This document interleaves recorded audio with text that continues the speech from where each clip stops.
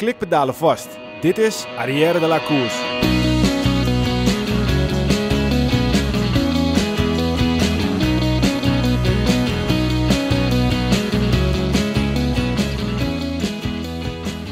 Het seizoen zit erop, de bladeren zijn gevallen en Azië is veroverd.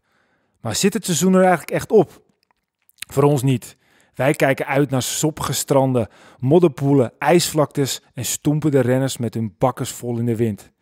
Zien we Mollema nog terug deze winter? Gaat Van de Poel een strandrace rijden? Zien we Van Vleuten vaker tot haar knieën in de modder? Lieve luisteraars, het genot op twee wielen stopt nooit. En wij, wij dus ook niet.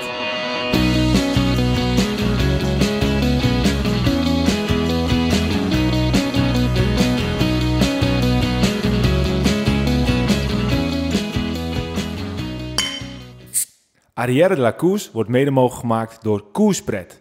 www.koerspret.nl Dames en heren, jongens en meisjes, welkom bij onze podcast over wielrennen de la. De komende podcast gaat over wielrennen, besproken vanuit het oogpunt van drie wielergekken die alles volgen vanaf de bank dicht voor de tv. Vandaag aflevering 32. Ik ben Michiel Beemster. Tegenover mij zitten ze Wilco Kenter en Peter Koning. Wilco, Ja. ziet er goed uit, jongen. Dank je. Nou ja, ja, nou, ja een mooi compliment. Ja, je ziet er goed uit. Heb je getraind? Ik, ik heb vanmiddag eh, getraind inderdaad, dat klopt ja. Moest je niet werken? Nee, ik, eh, woensdagmiddag moet ik altijd eh, veldtraining bij de fysio voor revalidatie van Ah, oké. En dat is een uur, dus het echt, eh, echt keihard eh, rennen, lopen, springen. Echt, je wordt helemaal eh, afgemaakt, om het zo maar even te zeggen. Het is echt eh, afzien, zware training. Zijn de benen winterklaar? Nou ja, voor mijn niveau eh, zijn ze zeker winterklaar. Ik ben natuurlijk niet zo ver als alle andere mannen die eh, aankomende zondag eh, het strand op gaan. Maar, ik heb eh, gehoord dat jij nog in een strandrace gaat meepikken. Is het zo? Ja. Wie heb je gesproken dan? Nou, een, M, M van L zei dat. Oh, die ja. Ja, maar dan moet je niet altijd al te serieus nemen hè, op dat vlak. Ah, oké, oké. Maar goed, je weet nooit, nooit hè. Hij een pakje fietsen zo alles geregeld heeft voor me, ja, je weet het maar nooit. Nou, zeg het niet te hard, zeg het niet te hard. Nee, dat is zeker waar. Hey Peter, eh, heb je veel gekeken de laatste periode? Eh, niet heel veel, wel wel regelmatig wat, maar eh, eerlijk gezegd heb ik uh, veldrijden niet echt gekeken. Wel veel, eh, ik heb Lombardije een stukje gezien, ik heb eh, een stukje van Japan Cup teruggekeken en eh, ja, ik heb wel eh, wat wat gezien nog. Ja. Nou ja, goed eh, jongens, we zitten weer. Arrière 2.0, de tweede keer. Ik bedoel, eigenlijk Arrière 2.1.2 of, eh, of hoe is dat? Dat gaan we allemaal niet doen natuurlijk, het wordt veel te ingewikkeld. Ja, wel veel leuke reacties hè, erop. Ja. Dat is hartstikke leuk. Nou ja, goed, kijk, eh, ik denk dat we gewoon de komende tijd eerst gewoon heel veel podcasts moeten maken. En als mensen het dan allemaal leuk vinden, dan kunnen we vanzelf wel weer recensies gaan voorlezen en, eh, en ook laten weten wat de mensen van vonden. Maar inderdaad, wat jij zei, er waren een aantal goede reacties en dat Zeker. horen we graag. Dat ook eh, gewoon een goede luisteraars. Dus mensen zijn blijven hangen en, Ja. eh, eh, en dat gaat goed. En eh, we gaan het deze winter gewoon, eh, gewoon doortrekken. En dat is, eh, Precies. dat is zeker de bedoeling. Mooie windkost. Ja, hey, we kijken nog even terug op de laatste periode. Kort natuurlijk dan. En eigenlijk wil ik maar één naam noemen. En dat is eh Bauke Mollema. Ongelooflijk hè, super mooi. Ja, wat een held hè. Ik heb echt van genoten. Ja, hij, was, hij was zo waar een beetje onder de indruk van zichzelf. Ja, mooi. hè. Ik zei het in de app, hè, jongens. Hij ging, jongens, Bouke gaat. ja, dat- dan is het een beetje. Dan, of, of het is alles, of het is niks. En dit keer was het alles. Ja, dat is genieten, Ja. man. Ja, en ik vond het ook echt, ik vond het echt mooi om te zien dat hij helemaal, eh, echt helemaal moest huilen. En ik weet niet of jullie dat ook nog mee hebben gekregen, maar er was een shot waar hij de laatste bocht doorkomt. En dan zie je als het ware een vrouwtje echt zo vet staan schreeuwen daar zo. Dat bleek gewoon zijn moeder te zijn. Ja, kan je je voorstellen dat de moeder van Bauke Mollema zo eh excentriek uit het dak kan gaan? Fantastisch. ik om te vond het zien. echt zo geweldig, Ja. joh. Ik vond Ja, het echt geweldig. Dat, eh, toevallig ook dat dat shot, dat precies daar in die hoek. Ja. En eh, dat er een zo'n vrouw hysterisch in die bocht gaat te Ja. schreeuwen. Ja, dat is wel... Maar dat kan je, ik kan bijna niet geloven dat de moeder van Bauke Mollema hysterisch kan zijn. Ook op een goede manier, maar Ja, dan lijkt hij dus op zijn vader. het lijkt hij op zijn vader. ja. Ja. Ja, goed, hij moest zelf ook een traantje laten. En eh, ja, hij won de ronde van Lombardije. Eh, na de Classica San Mollema hebben we nu ook eh, nou ja, de ronde van uh, Lomba Bauke, om het zo maar te Ja. zeggen. Dus eh, ja, hij, Ja, ja, het was straf. Het was echt heel straf wat hij daar heeft gedaan. ja, een van de grote monumenten. Maar aan de andere kant, hij heeft nu al gewoon twee grote koers op zijn naam staan. Hij heeft de Classica San Mollema en dan eh, de ronde van uh. En hij heeft gewoon een tour-etappe op zijn naam. Hè. Laten we dat ook niet vergeten. Dat is ook gewoon heel en eh, groot. het sprintklassement in de, in de, in de Vuelta. Podiumplekje in de Vuelta. Ja, het is eigenlijk, we hadden het ook eventjes met elkaar erover van wie is nu op dit moment de Nederlandse grootste renner. Nou, ik denk persoonlijk dat Dumoulin dat is, want die heeft een grote ronde gewonnen. Ja. Maar daarachter, ja, de Mo- Mollema zit, eh, zit dichtbij hoor. Ja, ik, ik denk dat je niet echt een keuze kan maken tussen één van Terpstra. de renners. Kijk, Terpstra, Mollema, Dumoulin, wat zij gepresteerd Er hebben. wint gewoon twee monumenten al. hè. Ja, ja, ja, maar Mollema die wint dan wel eh klassieka eh zo'n eh, zo'n Mollema. Dat is ook gewoon een hele grote wedstrijd. Ja, dat vind ik ook echt zeker weten. En, eh, en hij pakt etappen in de Vuelta, hij pakt etappen in, in de Tour. En dat heeft Terpstra dan weer niet. Dus al met al, ik vind ze allemaal... Ja, precies. Het met- kampioen, ja. ja, is toch ja, zo? Zeker Europees kampioen. Ja. Dus alle drie hebben, is wat voor te zeggen. Ja. Het, gewoon Het leek, een, het leek een seizoen te worden van Mollema waar we dachten van ja, het eigenlijk eh, ja, net een beetje niet. Wel vijf in de Giro, wat natuurlijk ook nog super knap Ja. is. Waar we natuurlijk tien jaar geleden hebben we al eens eerder over ge- gehad, eh, super blij eh, mee zouden zijn. En, en dan nu wint hij dus eventjes eh, de, de Lombardije. En hij wint daarna ook nog eventjes de Japan Cup. Ja, voor wat dat waard is. Maar hij wint hem wel. Ja, je moet winnen hoor, even goed. Ja. Het is geen makkelijke koers. Nee, maar goed, het was ook Rusty Wood, zo die zichzelf noemt. Ah, die, zo die slecht was zijn voorjaar ook niet. Kijk, eens in de Ardennen klassiekers reed hij wel gewoon. Ja, maar goed, dat, was 10. niet, En, dat is niet heel anders dan dat hij de laatste Ja, precies. tien jaar deed. Nee. Mollema, Waalspijl, Ja. vijf, zes, Ja. zeven. Ja. Kijk, weet je wat ook mee telt? Hè? Weet je nog dat we in de Tour zaten en eh, hoe slecht eh Trek eigenlijk presteerde? En alle wedstrijden ervoor was het eigenlijk een stuk minder. En Ja. aan het einde van het seizoen zien we dat ze een paar keer goed rijden in die 1.1 wedstrijden in België. En vervolgens winnen ze het wereldkampioenschap met. Matt Pedersen. En nu hebben ze die smaak te pakken en dan pakken ze gewoon de rest ook allemaal. En eh, ja, dan zie je dat zo'n sfeer binnen zo'n ploeg gewoon eh, heel bepaald kan zijn voor bepaalde ja, Ja, daar ben ik, echt, wedstrijden daar en ben ik het opstellingen. helemaal met je eens. En eh, dat geeft Molma zeker een boost gegeven Ja. in, in de laatste twee koersen. Ja, want het, het, het wereldkampioenschap reed hij eigenlijk als een van de weinige Nederlanders ja, heel neutraal mee. Ik bedoel, Ja. eh, het was eigenlijk net niks. Nee. Ja, en mooi vind ik gewoon aan Mollema. Kijk, hij moet de ploeg toch een beetje dragen. Hij is toch wel de, een van de grotere mannen binnen de ploeg. Ja, En het doet niks met hem. Hij blijft lekker zijn eigen gang gaan en hij doet zijn ding. En af en toe wint hij wat. En nu wint hij gewoon een hele grote wedstrijd. Hij is heel blij, maar hij blijft redelijk zichzelf. En ja, nou ja Mollema Dat is, zo mooi, ja. Mollema is gewoon, oh. En eh, nu was het gewoon zo dat hij eigenlijk Ja. gewoon, hij begon gewoon te huilen, weet je wel. Ja, en ik denk, ik denk zelfs nog, voor zover je bij hem van druk kan spreken, ik, maar ik denk dat de echte druk nu wel echt bij hem vanaf is. Hij Ja, heeft gepresteerd wel, in grote rondes, hij heeft nu een grote monument te pakken. En ook bij, bij, bij Trek. Ik bedoel, hij zit daar natuurlijk al een paar jaartjes. En, eh, En Vervolgens daar komt eh, onze grote vriend Nibali erbij, dus dat kan voor hem ook gunstig nou, Dat werken. vind ik dan weer helemaal niks. En dan moet hij voor die Eh, ja, maar hij kan wel in de schaduw kan hij gaan rijden. En eh, weet je, Mollema is ook iemand die zijn eigen plan trekt. Hè? Ja. Dus ze kunnen tegen hem zeggen van je gaat knechten. Maar als Mollema denkt ik ga er vandaag vandoor, dan gaat hij gewoon Ja. er vandoor. Ja. Dus dat, dat kan allemaal in zijn voordeel werken. Ja. Nou, ik ben, het, eh, ik ben het helemaal eh, met je eens. Helemaal zelfs. Zo. Dat is niet zo vaak, hè? Nee, dat is niet zo Normaal vaak, zou ik zeggen, ja, maar... Maar met Peter moet er altijd weer een beetje tussen gaan dat, zitten. En dit, een beetje de boel een beetje lijmen weer. En, eh, maar goed, ja, dat is ook wel eens leuk. Ja, ja nee, goed. Sorry, Nou, man. ik wil jullie wel zien op het strand straks met z'n tweetjes eh, buffelen tegen de wind. En dan kijken wie de beste van jullie twee is. Nou, ik, dan weet je wat wel grappig is. Vroeger, toen wij vaak naar de, naar de discotheek, eh, zo noemde dat vroeger nog, de discotheek, reden. We hebben, nooit, gewoon kroeg, we, hebben, we hebben nooit naast elkaar gefietst. Het was altijd eh, dat een van ons een bandlengte ervoor moest Ja, rijden. En we begonnen dan eh, zeg maar gewoon met tien in het uur. Weet je, een paar biertjes in onze mik volgedronken. En dat ging harder, harder, harder. Nou, we hebben het nooit gemeten, maar ik ben ervan overtuigd dat we Ja, dik tegen het 40 in het uur eh, bij de kroeg eh, aankwamen. omdat we- we nooit naast elkaar reden. Maar dan moeten we voor onze luisteraars ook wel eventjes aangeven dat, dat, eh, dat waar wij dan uitgingen, dan moesten we soms ook wel op z'n verst eh, bijna 18 kilometer fietsen. Ja. Dus dat was ook wel een redelijke tijd ervoor om hard te kunnen fietsen. Maar ja, Dus ja, ik kan me dus niet op- meer voorstellen. Dat Dus op het eh, strand zullen we niet naast elkaar rijden. Dat zal altijd achter elkaar zeker, zijn. zeker. Maar we hebben Peter toch? We- Bij, bij Peter kunnen we wiel. Ja, we gaan mooi zo'n eh, zo'n zo'n stang eraan zetten. Dan Ja, kunnen precies, we mooi een beetje zuigkracht. Ja. Nou, volgens mij hebben we ergens vaag afgesproken dat we Hoek van Holland en Helder zouden doen met z'n drieën. Maar eh, dat eh, wordt hem niet, denk ik. Ja, Ja, maar nee. dat is wel... Ja, voor ja, mij ja, was het te ja, ja. ambitieus. eh, maar voor mij was dat te ambitieus. ja, ik maar, kan me daar echt niks van herinneren. Ik, eh, ik kan me echt niet herinneren. Dat is 2020. maar goed, in het nieuwe jaar eh, er zijn er nog heel veel. Dus eh, wie weet. eh, Nou, ik, zou er wel, ik zou er wel eentje willen rijden. Kijk, Ja. ehm, de komende weken ben ik altijd eh, nog redelijk druk met, met mijn werk. Er moet ook nog gewerkt worden op zondag. Maar eh, ja, daarna, dan, eh, ik zou wel in januari wel zo'n race willen rijden hoor. Nou, Dan gaan we dan afspreken. Ja, nou, Of februari of eh Doen Noordwijk. Doen we de Flexwinkel Beach Race in Noordwijk. Ja, dat vind Ja. ik nog wel een van de leukste. Dus eh mocht Michel luisteren. Twee fietsjes, twee pakjes. Ja. Dan staan we klaar. Ja, prima. Nou, doen we. Shit, nou moet ik wel echt gaan trainen. Ja, ja, ja. Hey, jongens, eh Mollema, nog iets, eh, nog iets aan toe te voegen? Volgens mij eh, is, het, is het redelijk duidelijk. Zijn seizoen eh, kan eigenlijk niet meer stuk. Kon niet meer stuk, bedoel ik met. Het is nu afgelopen, zijn seizoen dan. En ja, Ja, net wat ik net al zei, ze hebben voor Trek het seizoen gered eigenlijk. Hè. Ja, nou En, ja, eh, dat dat met het wereldkampioenschap zoals volgend jaar... eh, Ja, Pedersen en Mollema, dat zijn de twee grote mannen van, van Ja. Trek dit jaar. Ja, en dan, ja, dan toch Poort die dan toch een beetje tegenvalt, maar dan zijn er toch weer, toch, ja, toch weer zo'n Poort die dan... En dan Ja, moet het en- andere rijdt die jongens- Volter ook nog voor, eh, voor Trek? Ja, dat weet niemand. Nee, dat is Zie een beetje niet, onduidelijk eigenlijk. Ja. Hè? Hoor je, je, je hoort helemaal Er zijn wel heel veel renners dit waar het nog onduidelijkheid over is. Die hebben dan ofwel een contract of die hebben geen contract. En vaak eh Pro Cycling Stat publiceert alleen als er een, een, Ja. daadwerkelijk iets over is gepubliceerd.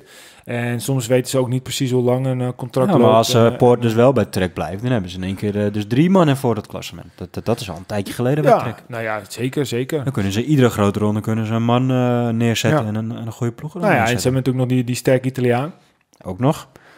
Die Dus, eh, eh, de, gewoon de, de, de bolle trui, of de, de Ciccone, de bergtuin in, de- in de Ja. Giro won. Die eigenlijk vorig jaar alweer een best een stap had gemaakt ten opzichte van het jaar daarvoor. Ja, dus het is best wel, ze hebben best wel een leuk natuurlijk een geel, een geel nog even gereden dit jaar in de Tour. Ook nog. Ja, dus ook een goede. Nou, we wachten het af, wachten het af. hey, eh, we gaan eventjes eh, ki- een korte blik op de wielenwinter die eraan zit te komen.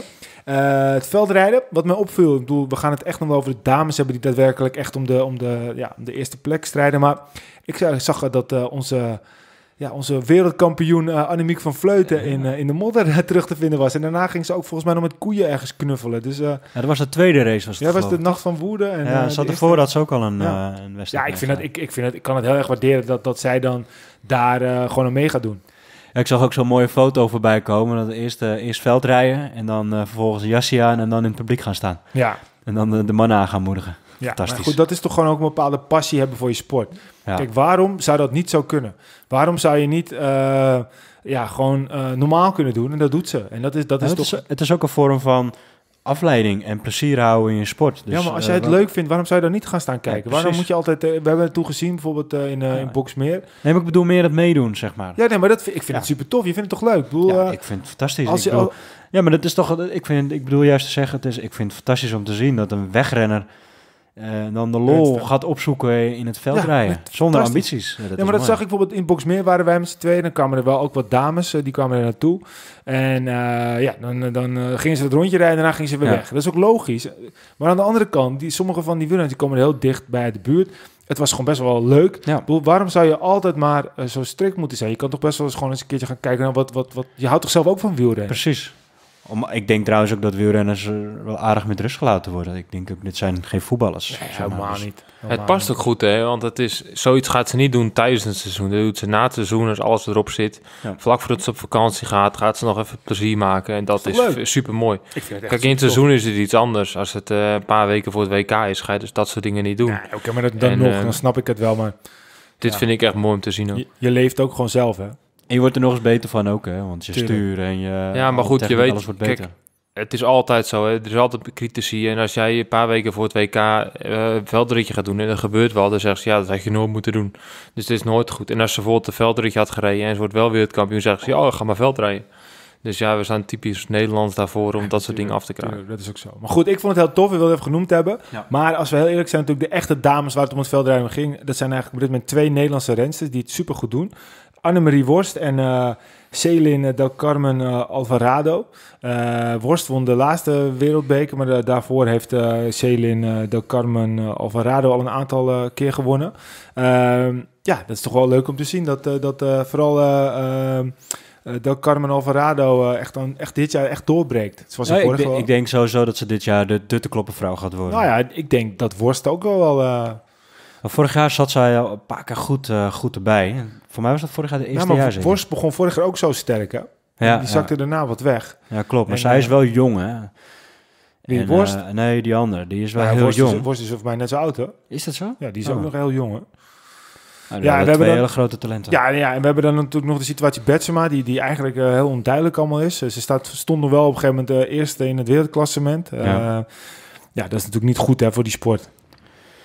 Nee, ja, kijk, eh, we kunnen er heel veel over vinden, maar er is nog niet zo heel veel over bekend. Nou, maar het, het, het, het, het verhaal eromheen is natuurlijk sowieso niet goed. Het, het is Nee. zo'n zo'n spook wat eromheen hangt. Het duurt ook veel te lang. Veel te lang, joh. Je kan toch gewoon, Klopt, je kan toch gewoon zo'n test te doen en dan op een gegeven moment nog een, eh, een B-test en dan ben je er toch? Ja. Waarom moet het altijd zo lang duren? En het is goed of het is slecht. En eh, ja, en dan maakt het niet uit welk, om welke persoon het gaat. Nee. Inderdaad, het, ik snap ook niet waarom het zo En, lang en moet als het dan een lastige situatie is, geef een deadline van twee maanden en klaar. Bijvoorbeeld, als het echt moeilijk is. Dus Ja. eh, zeg dan gewoon, oké, deadline klaar. Maar Aan. kan je niet gewoon zeggen, Peter Koning, jij hebt doping gebruikt. Eh, je hebt twee maanden tijd om je onschuld te bewijzen. Kan je dat niet? Schorsing. Dat bedoel ik. Maar dat moet toch gewoon kunnen? Ja, want Ja, het, maar ja, goed, is dat... waarschijnlijk is het iets dat ze zeggen dat er in de supplementen gezeten heb. En wat het verhaal is, weten we natuurlijk niet. Maar dan gaat ze zeggen, ja, het zat bijvoorbeeld eh, in dit of dat, wat ik gewoon normale dagen ge- het, schijnt, gebruik. het schijnt die Tesselse schapenkaas te zijn geweest. Nou, bijvoorbeeld. Maar eh, kijk, het is gewoon iets geweest waar ze niet weten waar het vandaan komt. Dat, dat zeggen ze. Nou, en dat proberen ze uit te zoeken. En dat duurt gewoon veel te lang. Die spullen waar het in hebt gezeken, die zal ze niet meer terugvinden bij ze van. nou ja, goed. Het is gewoon, Dus, het is ja, gewoon te dood, lang. een doodzonde. Maar wat zouden ze nu moeten doen in zo'n situatie? Zou je dan in dit geval tegen Betsema dan moeten zeggen... Oké, eh, er is nog geen uitsluitsel. Je mag blijven rijden totdat er een uitslag is. Want stel ze zou onschuldig zijn. Nou, je wordt non-actief gezet volgens mij, hè, zodra Ja, je... actief, ja. Ja, Maar, eh, stel ze zou onschuldig zijn. Dan heb ze, heb ze al die tijd niet mogen rijden. Ja, maar het is van dat alle is toch altijd partijen. Dat zo. is, zo, dat Dat, is zo altijd zo. Ja, daarom, daarom moeten ze er eigenlijk iets anders op bedenken. Nee, gewoon alle partijen is het slecht. Voor haar zelf is het slecht. Voor de, voor de familie is het slecht. Ja, voor het veldrijden. team is slecht. Voor het hele sport is slecht. Ja. Dus eh, in mijn ogen opnieuw de UC laat weer steken vallen in dit soort dingen. Ja, maar de UCI, dat is gewoon een stelletje, stelletje ezels bij elkaar. Ja, maar die moeten er toch bovenop hij, zitten. hij gaat nog twee keer terugkomen in deze podcast, de UCI. Het is gewoon het, het drieletterige gedrocht wat maar blijft doorgaan en blijft doorgaan, blijft doorgaan, blijft doorgaan. Die mensen die weten gewoon totaal niet wat ze aan het doen zijn.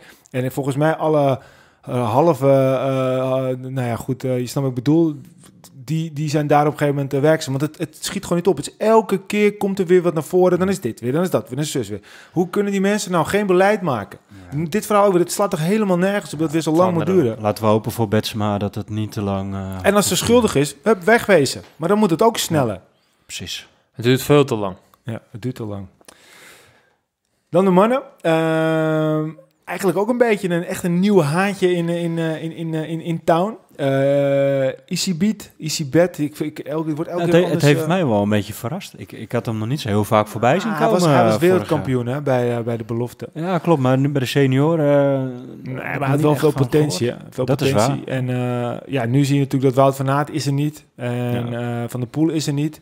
Toon Aert, als ik heel eerlijk ben, valt hij me tot nu toe een beetje tegen. Nou ja, dat, dat is wat ik dus net wil zeggen. Daar had ik dus meer van verwacht. Ja, maar misschien is die Easy Beat, eh, Easy Beat. Hoe spreek je nou zijn naam precies uit? Isebiet. Easy Beat. Ja. Is hij heel erg goed? Ja, dat kan. Hij Ja. is de nieuwe Wout van Aert, uh, Mathieu van der Poel van het veldrijden. Ja, dat zou Ah, kunnen. ik denk niet dat hij gelijk op de gelijke hoogte staat met Van der Poel en eh, ik Van Aert. Maar hoor.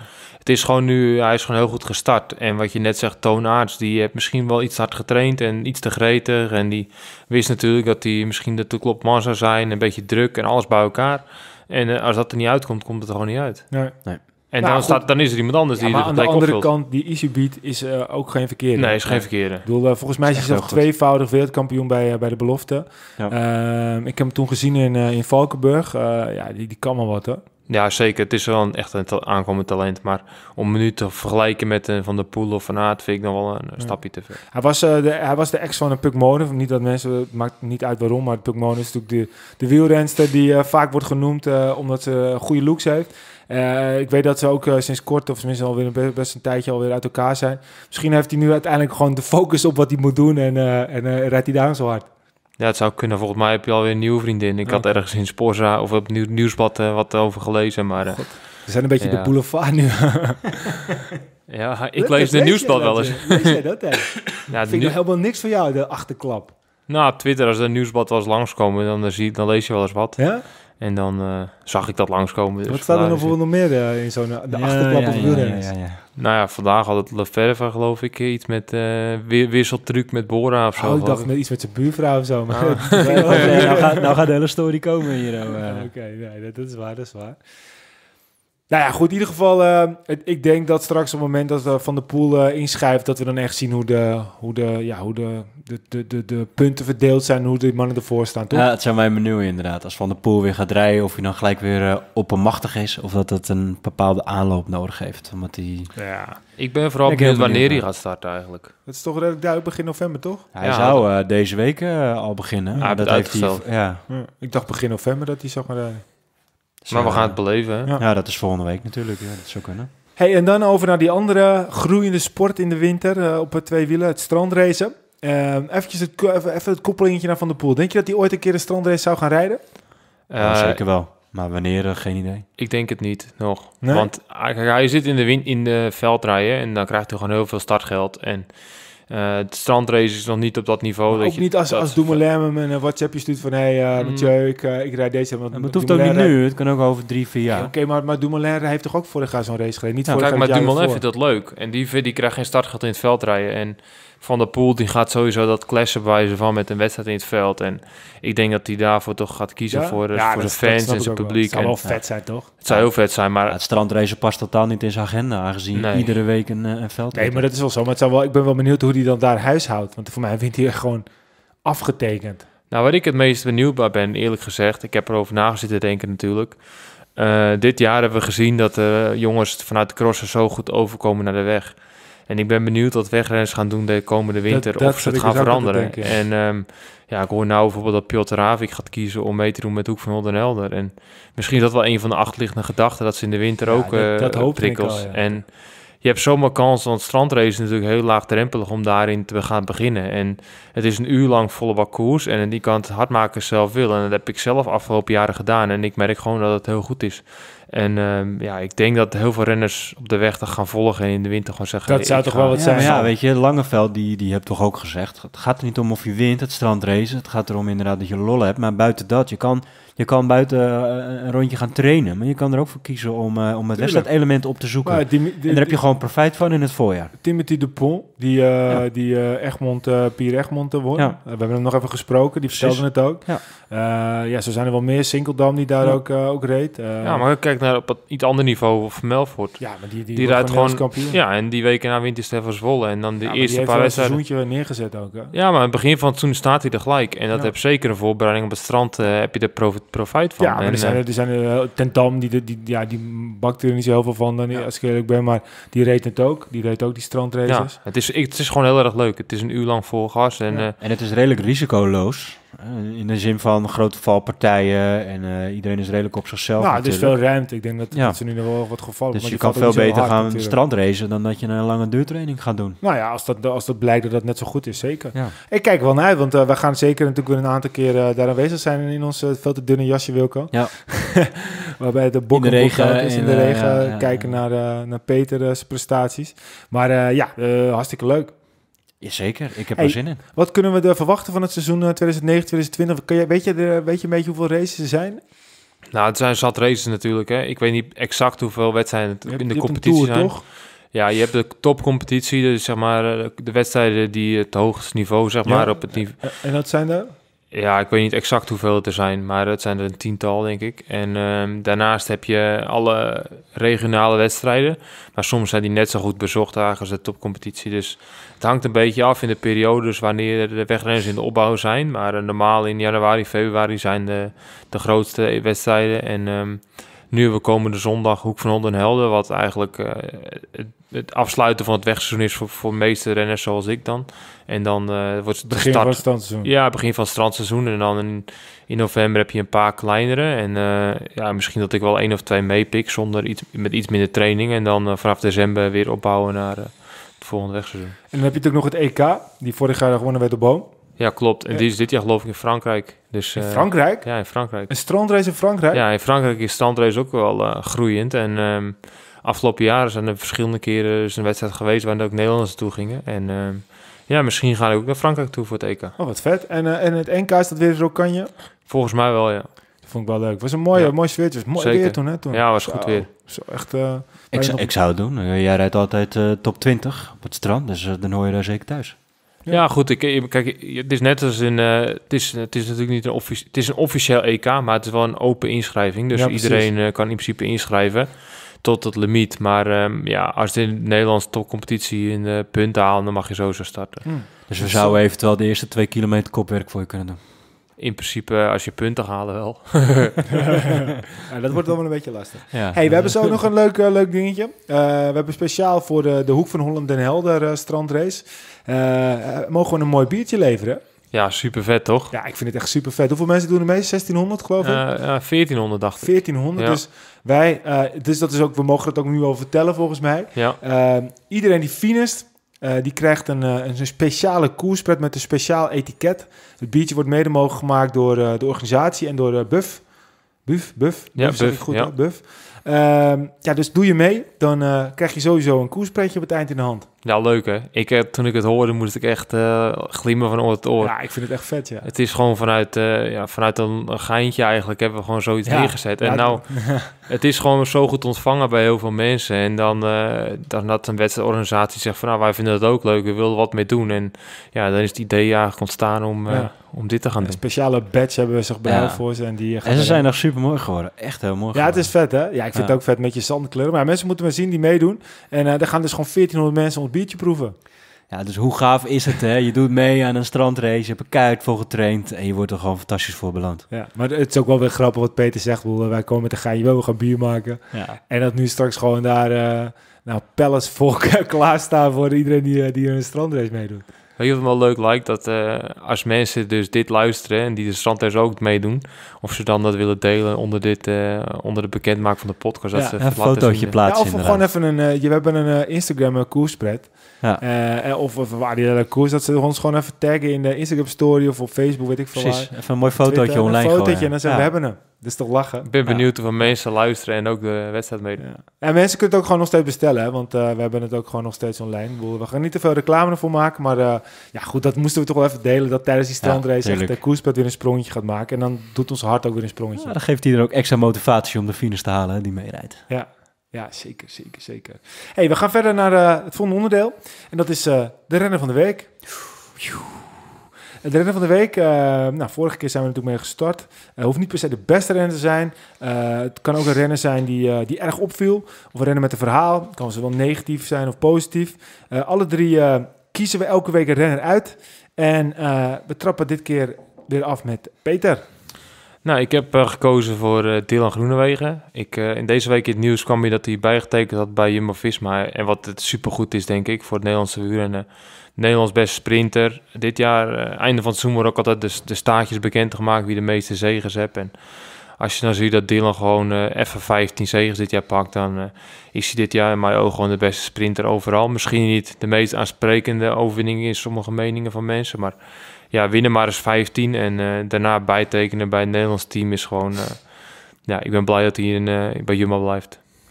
Zeker. Hij komt nog eventjes terug straks in, eh, in, een, in, een, in onze andere rubriekje. Eh, dus ik ga er niet nu te diep op in.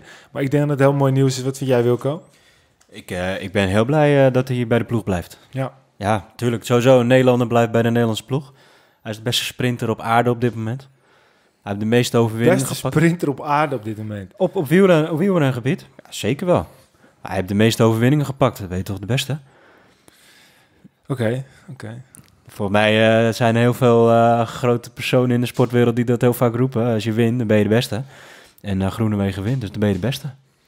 Ja, nou ja, goed. eh, jij zegt het. En eh, we gaan het er zo nog even over hebben. Dus we komen er nog even Oké, terug. oké. Onthouden, Maar ik ben eh, om dat, heel blij, zeker. Ja, Jumbo is de beste ploeg eh, voor hem, denk ik. Hij is daar groot geworden en, eh, en hij heeft een goede sprinttrein. Dus eh, waarom zou je iets veranderen wat, wat goed is op dit moment? Ja, heb je gelijk in. Heb je gelijk in. Ja. We gaan over naar jouw renner van de week, Wilco.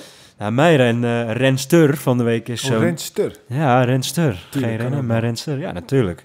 Is Marianne Vos. Overigens ook benoemd door Wilfred Klappen.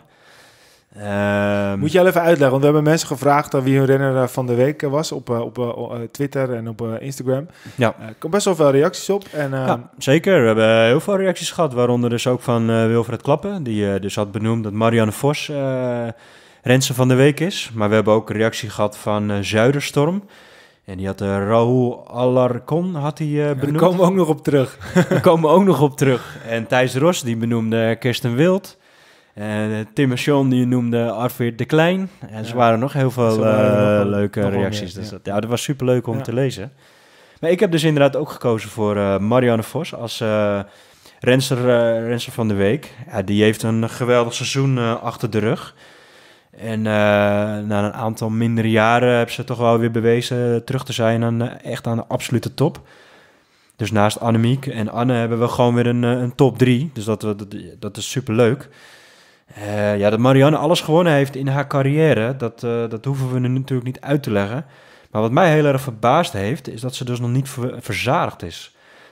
Uh, om winnares te worden van de Women's World Tour, het klassement genomen onder een heel seizoen, had ze nog maar zes punten nodig.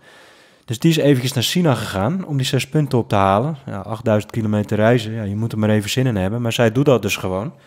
En ze heeft daar die zes punten gepakt. En eh, ja, ze is dus eh, de winnares van de Wo- Women's World Tour. Ja, dus dat, eh, dat was voor mij een hele grote reden om Marianne Vos als renster van de week te benoemen. Dus ja, wat ik ermee wil zeggen is, dat is, wat, is een sportvrouw, ze is een winnares. En als je op dit punt in je carrière zo gemotiveerd bent en nog steeds alles wil pakken wat je maar pakken kan, ja, dan pet je af. Zeker. Ja. Ja. Mooi, Wilco. Mooi, mooi verhaal. Ja. Zeker. Ja. Goed, dan mijn redder van de week. Dat is... eh, ja, had ook Arvid eh, de, de, de Klein kunnen zijn, wat je net al zei. Eh, dat werd ook genoemd. Maar er was één naam die niet genoemd werd. En ik, ik vind eigenlijk een andere naam die heel vaak werd genoemd was Bauke Mollema. Nou, die hebben we net al uitgebreid besproken. Misschien was dat dan inderdaad wel de renner van het moment, de renner van de week. Maar ik wilde toch een andere renner uitpakken. En dat is niemand minder dan Piotr Havik. Piotr Havik is een jongen die op dit moment eh, 25 jaar oud is. Hij rijdt voor de Nederlandse Beach Cycling Club. Eh, ooit eh, won hij eh, de eh, welverdiende Watmeister Challenge tijdens de topcompetitie in 2017. Daar kreeg hij een stagecontract eh, voor bij eh, ja, toen nog Katusha. Eh nou, dat werd hem niet door omstandigheden. Maar eigenlijk is Piotr Havik een beetje het voorbeeld geworden van een absolute doorzetter die er uiteindelijk er wel komt. Ehm, waarom komt hij er uiteindelijk? Omdat hij dus nu een contract heeft getekend. Een profcontract voor eh, 2020 bij rival Redines Cycling Team. Is een, een, eh, een, eh, een Deens eh, team. Hè? Deens zijn ze toch uit mijn hoofd? Ja, Deens. Deens, Deens team. Ehm, en ja, die hebben heel veel Nederlanders de laatste tijd gecontacteerd, maar onder andere dus ook Piotr Havik. En Havik, ja, ik vond het eigenlijk al heel bijzonder dat die jongen niet eerder is opgepakt.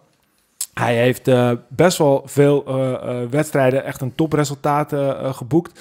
Hij heeft niet altijd, altijd gewonnen, maar hij zat er altijd dichtbij. Hij zat ook heel vaak in de kopgroep. Hij was altijd maar doorgaan, doorgaan, doorgaan. Misschien wel ook soms tegen beter weten in. Ehm, en dit jaar heeft hij zelfs nog twee mooie wedstrijden gewonnen. De GP Stad Zottegem en de Nationale Sluitingsprijs. Terwijl hij die week daarvoor ook nog eens een keertje de- bij de Nationale Sluitingsprijs vlakbij zat. En dat werd toen uiteindelijk... ja, waar eh, was eh, ja, eigenlijk het team Corendon, eh team van Mathieu van Poel, was een stuk sterker. Maar hij heeft hem te pakken. Hij heeft een, een profcontract en ik denk dat het meer dan verdiend is. We hadden natuurlijk ook kunnen kiezen voor eh, Van Schip. Ook heel goed gereden de laatste periode. Heeft ook nog geen team. Ja, en, en ik denk dat het, enige, het enige wat we tegen Van Schip kunnen zeggen is... jongen, vooral doorgaan en kijk heel veel naar Piotr Havik. Want als je doorgaat, uiteindelijk komt het echt goed. Dus uh, Piotr Havik, Maar hij won toch ook eh, een paar dagen daarna gelijk een koers? ja, hij won eh, de van, GP eh, Stad Zottegem en daarna ja, de toch? Nationale Ja. Sluitingsprijs. Ja. Dus Ja, mooi voor hem. Ja, Ja, dat is is geen UC-koers, toch?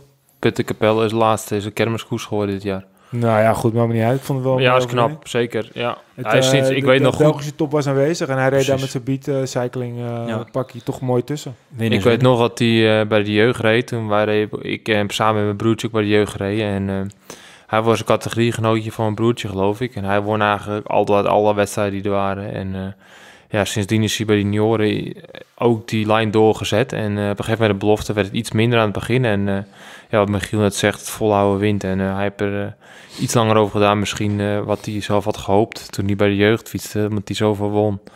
Is het zo knap dat je eigenlijk niet hebt opgegeven omdat je eigenlijk gewend bent om heel veel te winnen. Als je snapt wat ik bedoel. Ja, En ja, dat, dat heeft verdiend de profcontract. ja zeker. Zeker. Zeker. We gaan verder met eh, in het nieuws. Ehm, als eerste kijk even naar Peter. Eh, er zijn wat luisteraars die ook de vraag hebben gesteld. Vandaar dat ik ook even dieper inga. De situatie bij Evo Pro. En hoe, hoe zie je nu zelf je eigen toekomst? Ja, het is nog steeds een beetje een vraagteken, hè? want eh, ja, er is niet echt nog een duidelijkheid wat Evo gaat doen volgend jaar. En ehm, ze hebben natuurlijk altijd uitgesproken dat ze wel eh, ambitieus zijn en eh, verder willen timmeren. En daardoor heb ik ook de overstap gemaakt uiteindelijk. En ja, het is niet allemaal zo gelopen als ik eh, had voorzien, maar ehm, ja, ik moet nog steeds wachten. En het is nu echt een tijd, omdat er zoveel teams stoppen, is het gewoon, ja, ze kunnen je laten wachten, dus dat doen ze ook. En ja, dat is soms niet altijd makkelijk, maar ja, de volhouden wint, wat je net zei. En ik hou nog vol en ik weet niet wat er gaat gebeuren, maar ik hoop dat er nog een mooie plek Maar gaat komt. Evo Pro anders eh, helemaal stoppen of gaan ze wel gewoon door? Nou, dat is ook nog niet eens zeker. Volgens mij gaat het gewoon door, dat sowieso, want ze hebben wel een aantal sponsoren aangetrokken. Maar eh, ja, er is wel eh, genoeg geld nodig om een goed Hebben continent ze op wel team. de aanvraag gedaan voor een pro-continentaal team? Niet dat ik weet, want dat moet al rond zijn voor eh, 27 september, Ja. geloof ik, of 26 september. Dus in principe mag je alleen nog maar in de categorie blijven waar je in zit. En ehm, ja, dat zijn allemaal dingen achter de schermen waar ik liever niet mee bezig hou. Maar Ja, ik weet dat dat ze sowieso geen licentie hebben aangevraagd, anders had het En moeten het zijn. gerucht dat ze zouden samengaan met een Hongaars eh, team. En dat heb ik nog nooit gehoord. Nee, dat Nee. is uit de lucht gegrepen. Ja. Maar goed, eh, kijk, ik weet ook niet alles wat er gebeurt, hè. Want eh, je bent een renner en in het management gebeuren natuurlijk soms misschien andere dingen. En misschien is er wel gepolst vanuit het management om bij een Hongaars team, dat zou heel goed kunnen. Maar ja, wij als renners hebben er eigenlijk nooit wat over gehoord. Oké, oké. Nou, ik denk dat het duidelijk is. Dan eh, het volgende punt, Eekhoff. De wereldkampioen bij de beloftes eh, op de weg, eh, die uiteindelijk niet wereldkampioen werd. Hij stapt naar de rechter. Ja, goede zaak. Hij Hele gaat naar goede kas en hij, hij wordt ook aangegeven, de Nederlandse bond steunt hem nu wel in één keer. Ik vind het toch Ja. een beetje een raar verhaal, ook een beetje straatjes schoonvegen heb ik het idee. Maar al dan niet doen ze het om een keer een, een zaak te maken om duidelijker te krijgen in de onduidelijke regelgeving. Ja, dat is sowieso goed. Hè? Kijk, eh, we hebben er al genoeg over gezegd, over wat we ervan vinden en wat er allemaal gebeurd is. Maar ja, ik vind het heel goed dat er, dat er nu een, eh, een, een renner op staat. En in dit geval is dus Eekhoff, die zwaar benadeeld is. En, en de strijd aangaat. Ja. En eh, wat de uitslag ook mag zijn. Het Zal het wielrennen drastisch kunnen goed. veranderen? Nou, dat denk ik niet. Ik nou, denk dat dat, denk ik je wel. bedoelt zijn persoon in, Nee, in niet zijn persoon. De, de regelgeving. Stel, stel je nou voor dat hij niet in het gelijk wordt gesteld. Ja, dan moeten alle auto's toch weg. Ja, maar dat, het, zal, het zal wat gaan gebeuren. Dit is een soort van... Ik wil het niet zo groot maken als het Bosman-arrest... eh, wat natuurlijk een van de grootste sporttribunaalzaken ooit is geweest in het voetbal. We mogen het niet meer over voetbal hebben van onze luisteraars. Dat gaan we ook niet doen. Maar dat was een zaak die echt het transferbeleid in het, in het voetbal veranderde.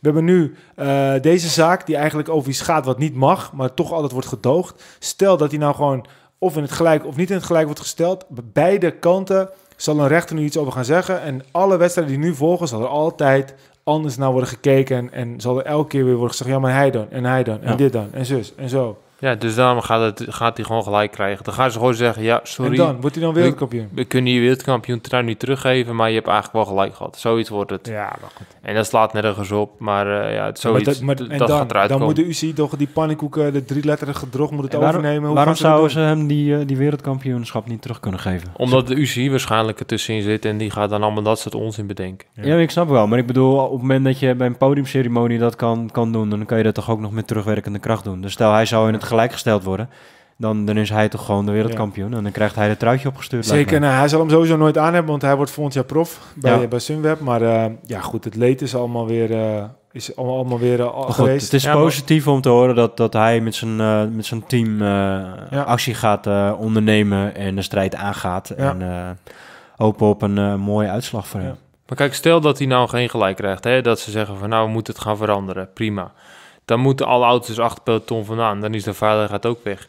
En zodra iemand lek rijdt of eh, moet stoppen om te plassen of een jack aanpakt of weet ik het wat, kom je altijd achter een auto. Want er is de eerste auto van de jury, die kom je hoe dan ook, als het een smal weggetje is, dan zit je er op een gegeven moment achter. En dan is het maar een klein stukje, je zit achter maar die auto. maar, Ja, maar dat is dus wat er gaat gebeuren. Er, moet, Ja. er, moet, er gaat iets veranderen. Ja, en dan gaan ze dus misschien gewoon zeggen, auto's blijven rechts, renners blijven links. Of Ja, andersom. maar hoe, wat dan als... kom je dus nooit meer terug. Maar de meeste wegen die we rijden, die is een autobreedte. Ja, nee, dan, dan op dat stukje valt er niks aan te doen. Maar zoals... Ja, maar eh, goed, dat is dus Ja, probleem. was er een, eh, was er een bredere weg natuurlijk. En Ja, dan hadden ze maar, dat... maar dat blijft dan zo. Ja, dat blijft zo. Dan gaan ze dan zeggen van ja, de weg moet breder zijn dan twee meter zoveel, anders Ja. mag je niet achter de auto rijden. we Dus je- wachten het af. We wachten het af. Want Het is- we komen er zelf ook niet uit. En als een rechter dat eh, ook niet kan, dan wordt het helemaal lastig. Goed, dan onze grote vriend Raúl Alarcón. De Portugese eh, Valverde, ofwel eh, de Portugese raket. Hij is betrapt op doping. Nou, die zagen we nou er echt niet aankomen.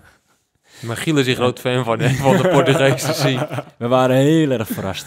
jongens, jongens, we hebben hem ook wel uitgebreid besproken in een aantal podcasten geleden. Ja. En eh, ja, toen waren we wel een beetje licht cynisch, om het zo maar te zeggen. En eh, ja, uiteindelijk is het toch uitgekomen. Ik vind het wel apart dat het niet in het doofpot is gestopt, eerlijk gezegd. Ja, Dat het niet even via via zo eh, onder tafel wat geregeld is.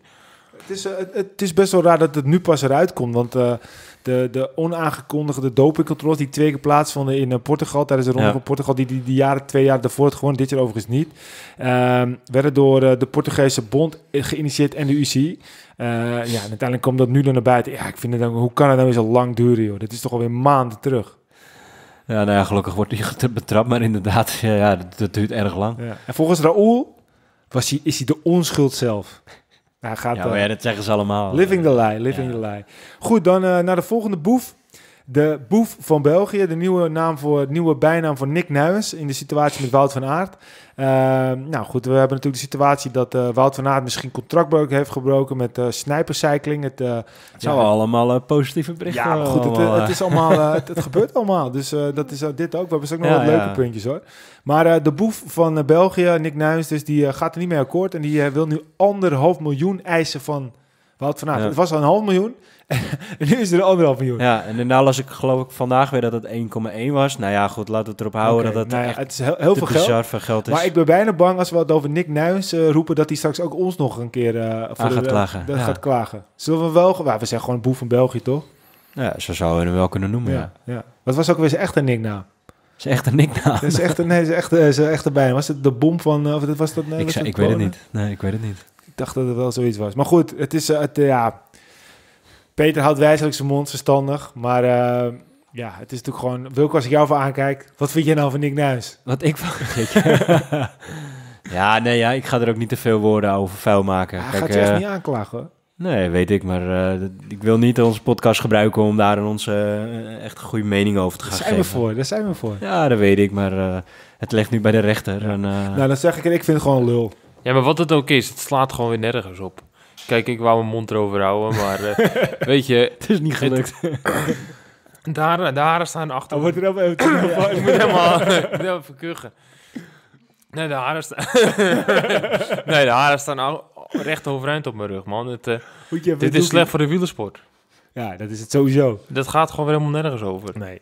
Kijk, en daarom wil ik er niet te veel over vertellen, want we hebben er echt wel een hele goede en een duidelijke Ja, mening moet je over. gewoon kunnen zeggen. We zaten En, niet voor eh, Nick Nuyens. Nee, maar goed, het is meer om het positief te houden en we zijn er Ja, niet heel maar dat snap ik. Dat- deze wordt het heel erg negatief. Je moet het zo zien. Iemand is nu lekker aan het hardlopen en die hoort dit in zijn oren en die denkt ook van, ja, die Nick wat, eh, Dus die gaat nog harder hardlopen, harder, harder. Ja. Zo moet je het zien. Ja, dat niet is altijd. Nou ja, negatief. er is de lul. Ja.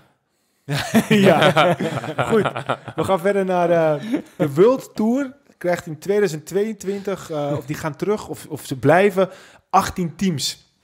Maar toen dacht ik meteen, maar dat is nu toch ook zo? En dat, Maar is er vandaag al, eh, want ik las dat gisteren ook inderdaad. En vandaag zouden ze met een definitief eh ja, maar, iets maar, komen. maar er bij de UCI komt nooit iets definitief. nee, nee, nee. Dus dat komt ook niet vandaag, dat komt ook niet volgende week. Maar Want, want om eventjes verder te gaan, we hebben de strijd om de wildcard gezien tussen eh Ja. eh, Wanty Gobert en, eh en eh Cornadon, eh, Biobank. Eh, nou, die strijd is uiteindelijk gewonnen door, door Total Direct Energy. Wanty Gobert heeft dus, eh, is tweede geworden bij de, het niveau onder de World Tour. Maar nu blijkt toch weer dat het niet helemaal zeker is of dan Wanty Gobert groep wel een wildcard pakt. Want het idee was dat de wildcards, de eerste twee wild, wildcards van de World Tour wedstrijden, Ja. dat werd, die werden verdeeld onder de teams die het hoogste ranglijst stonden buiten de World Tour teams. Ja. Maar nu is het dus weer zo dat Covid dus waarschijnlijk een World Tour team wordt. En dat Ja. ze daardoor weer te veel World Tour teams hebben, waardoor alleen maar weer eh, Total Direct Energy een wildcard krijgt. Maar aan de andere kant voor de Tour bijvoorbeeld verandert weer helemaal niks. Want dan gaat Total Direct Energy zijn Franse ploeg, want die Gobert heeft al jaren die wildcard.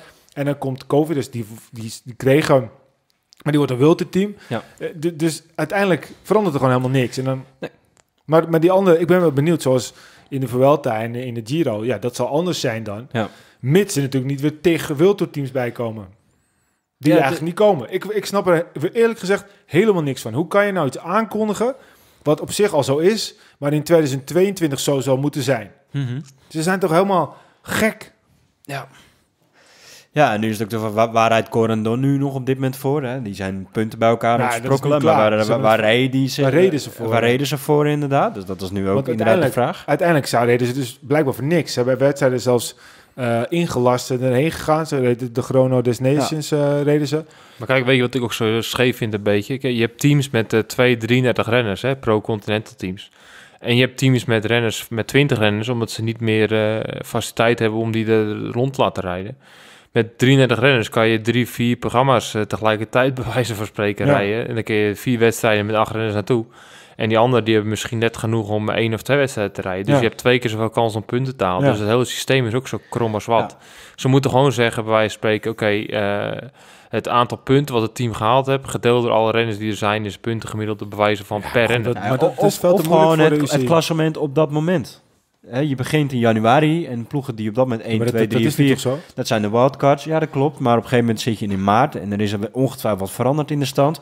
Dus de nummer 5 maar is misschien de nummer als 3 één team geworden. En 30 dan mag die... eh, Die kan toch veel meer koersen rijden? ja, natuurlijk. Dus goed. dan wordt het toch weer on, on- Ja. alles scheef. Ja. Maar dan goed, moet je gewoon de beste vijf renners gelden. Dan Dus maar dan krijg je, wat je dan gaat krijg je krijgen... hetzelfde voor eigenlijk. Ja, dus dan heb je dus eh 33 renners. Dan heb je weer die begroting, is ook weer twee keer zoveel. Dus een team wat misschien met eh 3 miljoen rondrijdt, wat heel moeilijk bij elkaar geraapt is eh, met 16 of 20 renners, hebben ze dan opeens een budget van 5, 6, 7 miljoen nodig om 33 renners rond Ja, te en rijden. als het nou interessant zou zijn om de Tour de France te halen, omdat je de televisiegelden krijgt, zoals je bijvoorbeeld in het voetbal gaan we weer. eh, de Premier League heb je dan een 100 eh, miljoen eh, pond game. Als je promoveert van de eerste divisie naar de Premier League, dan, dan krijg je 100 miljoen aan tv-gelden. Dat heb je ook niet in het wielrennen, want, want je verdient eigenlijk geen reet meer op het moment dat je de Tour de France Nee, rijdt. Het kost dat- alleen maar. Ja, daarom wordt uiteindelijk degene die de belangen slim hebben afgesloten, worden maar rijker en eh, de teams niet. Ja. Zeker. Het Nou, is jongens, een heel, eh, heel vaag We verhaal. zetten, we zetten een punt achter, we komen er niet uit. En we hopen dat, eh, dat het ooit duidelijk wordt wat de UCI nou precies allemaal wil met de World Tour. Dan Kingston naar Jumbo-Visma. Dat vond ik echt een hele grote verrassing. Ja, dat is verrassend, hè? Komt Die- over van Boren Hansgrobe, Grobe, dus hij reed wel al World Tour. Ik had eerlijk gezegd nog Die- nooit van die kerel gehoord. Ik ook niet. Nee, ik denk, ik denk dat voor iedereen dit een eh, verrassing is. En, en dat zal ongetwijfeld een breedte aankoop zijn, omdat ze zoveel renners eh, nodig hebben. Ja, Hij zal misschien ook wel een paar hele goede sponsors eh, meenemen, wat interessant ja maar is. ik, en, ik, eh, ik dacht dat Jumbo-Visma niet zo'n team zou, zou, zou zijn. Ja, maar die hebben links of rechtsom natuurlijk ook gewoon eh, hun geld nodig. Ze hebben goede sponsors, maar contracten Ja, maar worden natuurlijk zou, ook al dikker. Dus, jij eh, denkt dus dat Jumbo-Visma hem betaalt om voor hun te rijden? Nou ja, of hij neemt gewoon geld en sponsors mee. Dat, dat de Jumbo hem uiteraard betaalt, maar hij neemt zelf waarschijnlijk ook Ja. gewoon een Ik kap had het idee mee. dat Jumbo niet meer die, die, die koers zou varen, maar, maar het, ik kan me bijna niet anders voorstellen. Ik, ik, ik denk het ook niet, maar ik, ik, ik heb geen ander idee. Wat moet je met zo'n renner? Hij heeft nog nooit wat gepresteerd. Ja, maar hij nooit, wordt in de eh, breedte gehaald om Van. Aert en, eh en Groenewegen te ondersteunen. Maar dan ja, maar in de ook- grotere wedstrijden staat hij er niet. ja, maar dan want- heb je toch ook nog eh, Rozen voorlezen, Teunissen. ja, precies. In de grote wedstrijden staat hij er dan van niet. Van Poppel. Ja. Ja. Dus ja, een hele vreemde aankoop, maar er zal een, eh, een idee achter zitten. En, en net wat ik zeg, ik denk dat er een, Ja. dat er een geldkwestie eh meespeelt. Nog meer eh, Jumbo-Visma nieuws. De coach van Sunweb van Dongen, een van de coaches van Sunweb, gaat ook naar Jumbo-Visma.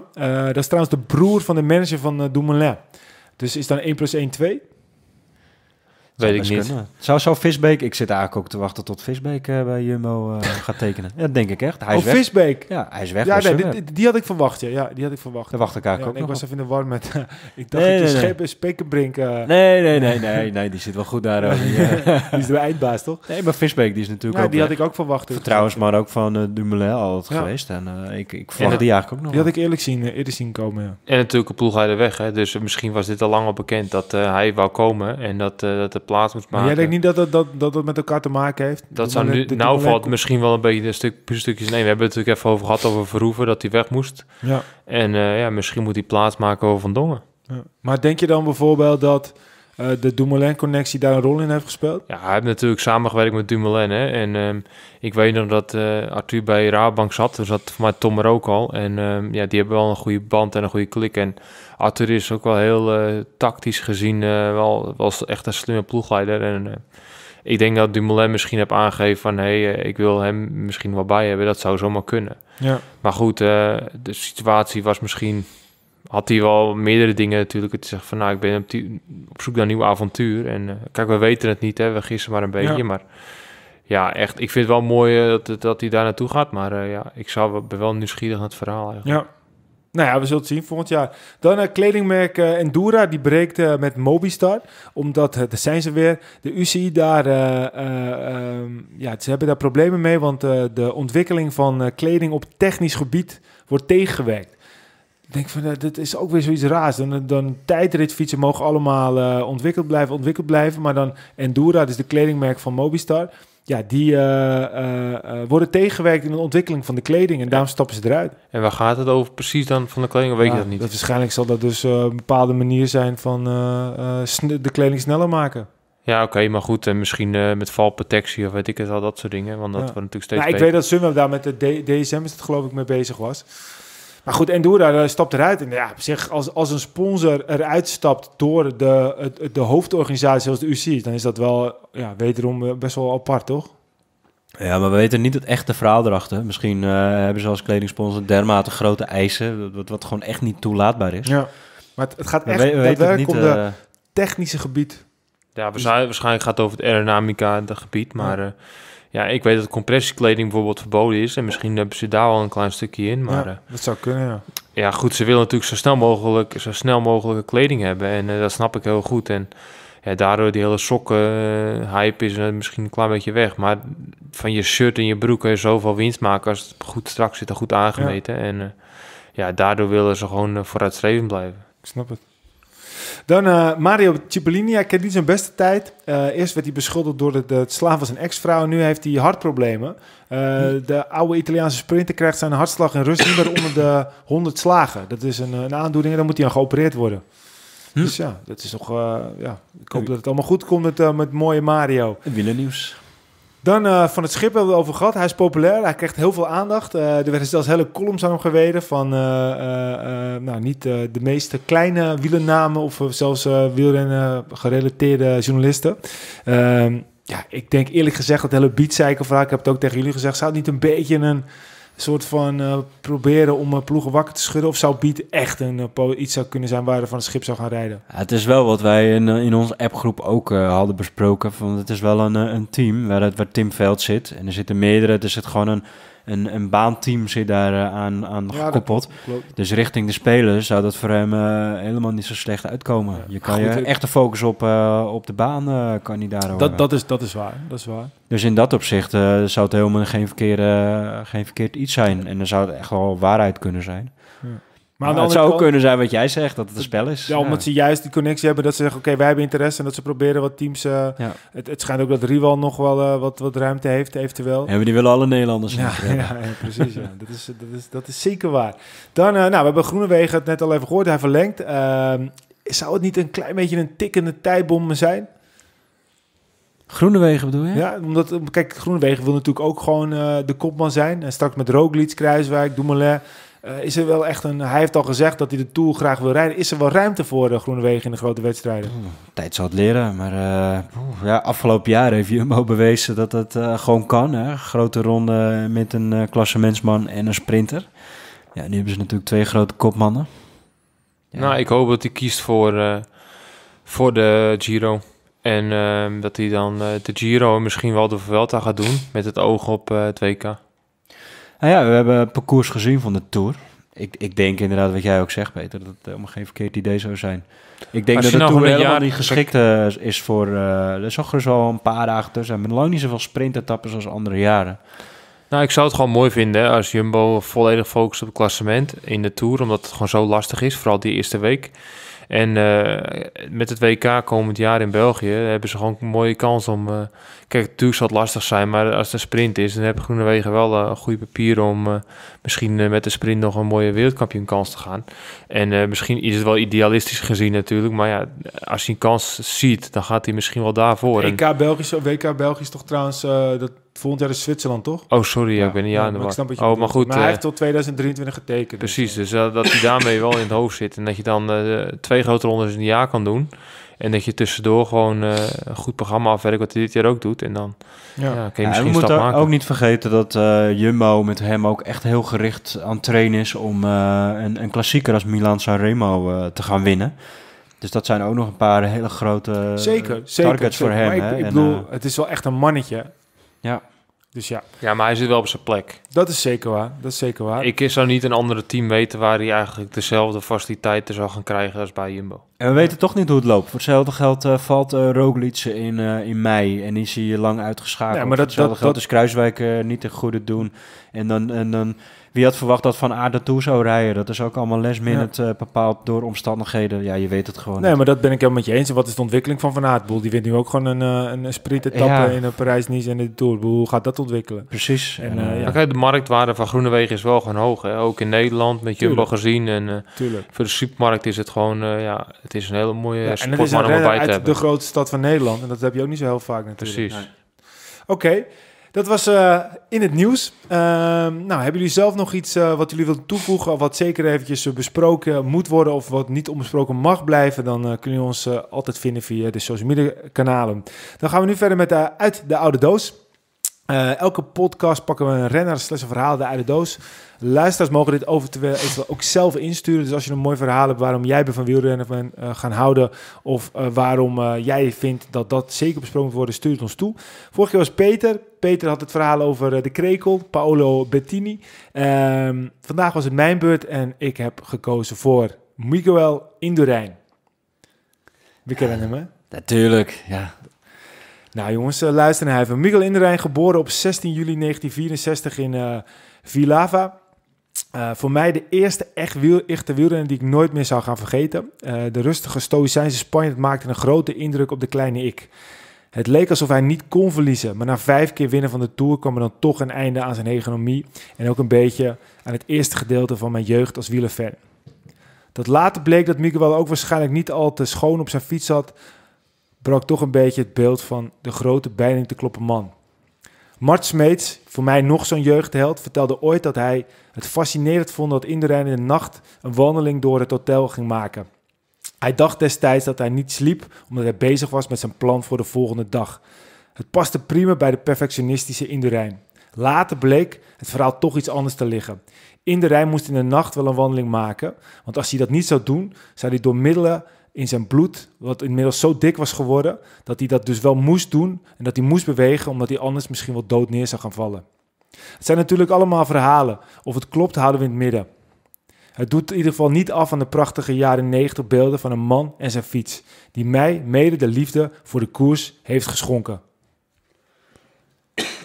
Ken jullie dat verhaal van Inderij? Ik vind het sowieso een heel mooi verhaal. Ik weet ook niet of het waar is, maar het zou wel bizar zijn. Hè? Ja. Ja Inderij is voor mij ook wel een, uh, echt wel een soort van het, het, beeld van dat, dat ik ook echt wel liefhebber ben geworden van... onze jeugd, hè? Samen met Abraham Olano in, in Colombia op het WK. Dat is ook zo'n memorabel moment. Ja, die kwam uh, net even... Het was een beetje zijn troonopvolger, hè? Ja, maar dat hij toen vijf keer won, hè, een sterke tijdrit neerzetten en, uh, en iedereen op minuten zetten. En dan gewoon stoempunt uh, die berg op. Soms ook gewoon winnen op een berg, maar meestal was het stoempunt de berg op.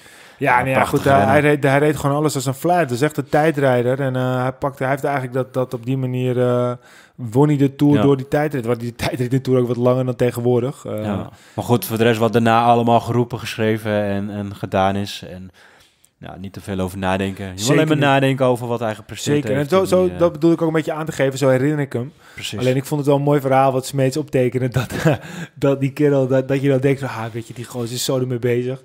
Nou, zo, zo zijn er meer verhalen, hè? want ik weet ook nog wel dat de Iraniërs dat ze op moest, uh, wakker gemaakt werden om het uur en dan uh, sit-up moesten doen of push-ups moesten doen om dan de hartslag mogen te krijgen. Ja, ja, ja, ja. dat soort dingen zeg bizar. Dat kun je niet meer voorstellen meer tegenwoordig. Nee. Maar goed, ik, uh, voor mij is Indurain gewoon wat dat betreft een, een, een ongelofelijke held. Zeker. Uh, ook een renner die, die gewoon natuurlijk gezag had. geen on, onbesproken woord. ik denk dat een renner als Indurain tegenwoordig het heel lastig zou hebben in de snelle maatschappij. Maar toen uh, vond ik het echt geweldig. En ik ben hem heel dankbaar, want uh, ja, ik bedoel, hetzelfde als Smeets, dat vind ik ook echt een held. En uh, ja, dat wordt heel vaak verketterd. Maar voor mij is Mart Smeets de romantiek van het wielrennen in, in, in, een levend lichaam. En ja, daar, daar, ben ik hem ook heel dankbaar voor. Want ja, ik had hier niet gezeten. ik had ook niet zoveel lol gehad van het wielrennen als Smeets er niet was geweest. Ja, ga je hem nog afmaken? Mag ik het zeggen? ja, ja. Ja, nou ja, goed. Dat mag jij zeggen. ja, het zijn jouw woorden, hè? Het is jouw vrouw. yes. Hey, we gaan zo langzamerhand uh, tegen het einde. We zitten bijna rond een uur. Um, eigenlijk de eindstand van de teams. Nou, jullie hebben het al even gezien. Uh, er is één hele grote winnaar.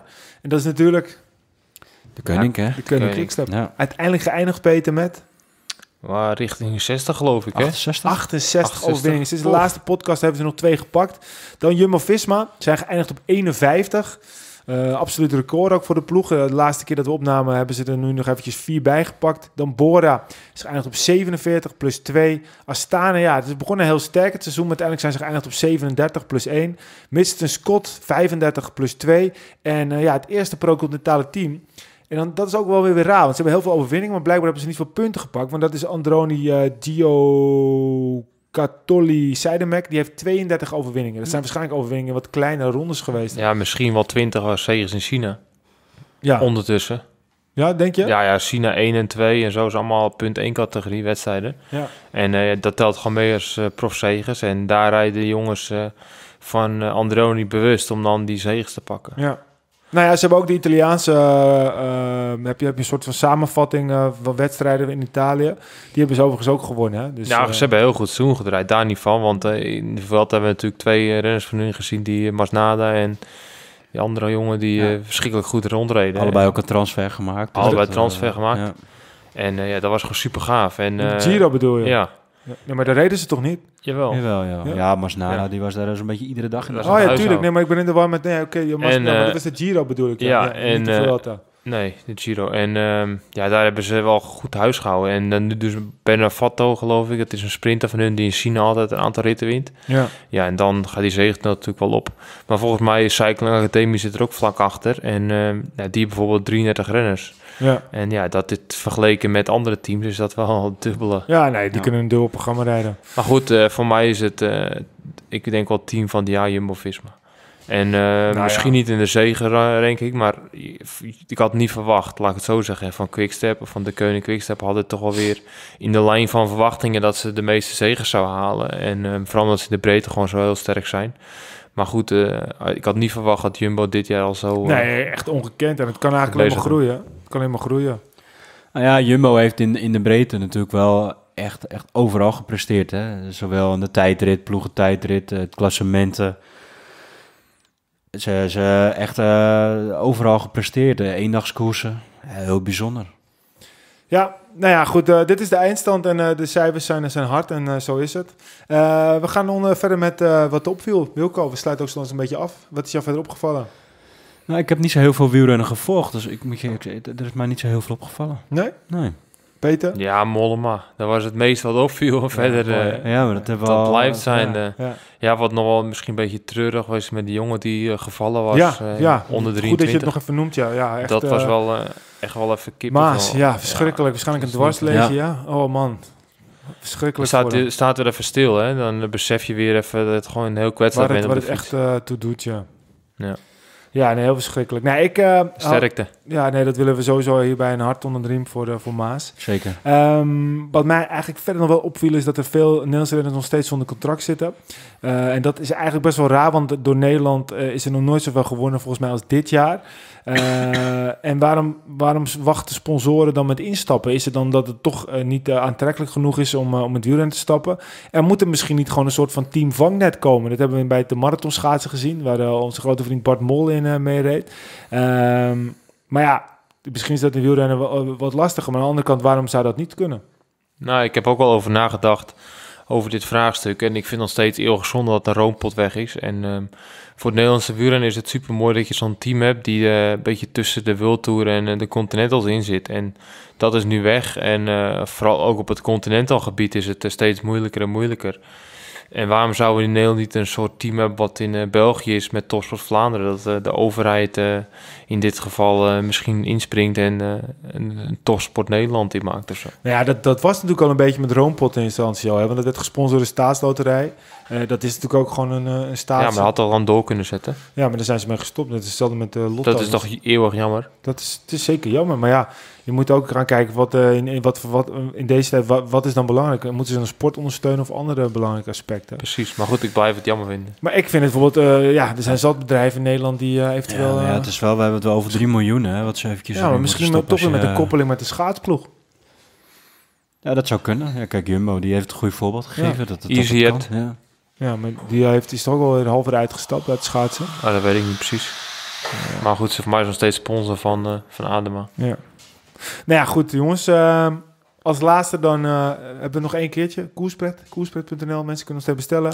Doe je mee aan eh, de, ja, de, la, de, de aankomende race. Hoek van Holland eh, Den Helder. Dan krijg je sowieso een flesje. Wil je het ook nog even proeven. Dan eh, moeten mensen zeker eventjes naar onze website gaan. Peter, het laatste woord. Ja, leuke podcast weer, denk ik zo. Ik denk het ook. Zeker, was genieten. Ja? bedankt voor het luisteren en eh, tot de volgende keer. Nou goed, hij neemt de woorden mijn mond uit. Nou, in ieder geval bedankt voor het luisteren. Volg ons op Facebook, facebook.com slash arrière de la course. Twitter, Ariel hoofdletter C. Instagram, Arrière de la C. En eh, kijk even op onze website arrièredelacours.nl. Bedankt voor het luisteren en tot de volgende Arrière de la Course.